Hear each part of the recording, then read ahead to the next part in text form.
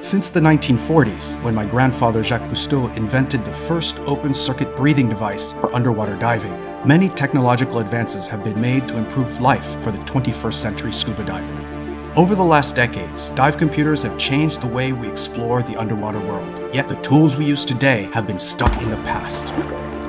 Over the past year, Ocean's team of engineers and product designers have been working to create the next generation of underwater devices a diving computer that automatically syncs wirelessly to your digital logbook, features a large Retina class color display, a 3D digital compass for navigation, silent haptic feedback, and wireless charging. Oh, and this. The Oceans S1 Supersonic is a new generation underwater device that adds another dimension to recreational scuba diving buddy communication. Using ultrasonic waves, the Oceans S1 Supersonic creates a virtual lifeline between you and your dive buddy, enabling diver to diver communication. Now, with just a tap of a button, you can summon your buddy, dive master, or instructor by sending a ping right from your diving computer.